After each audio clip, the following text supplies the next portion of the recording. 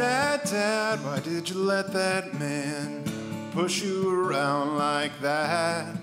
You should have beat him down, down to the ground, down to the ground for that. He said, Son, you're still young and you always jump the gun. There's real people in the big, big trucks that you flip off when they get in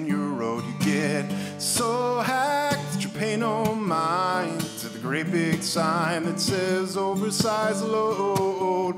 Really think they can go as fast as you in your 87 trans, and they know you're in such a terrible rush, going just as fast as fast as they can.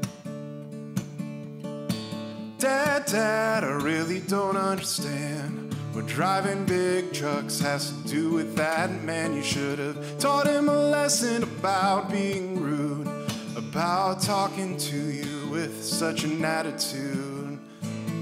He said, Son, you're still young and you always jump the gun. There's real people in those big, big trucks that you flip off when they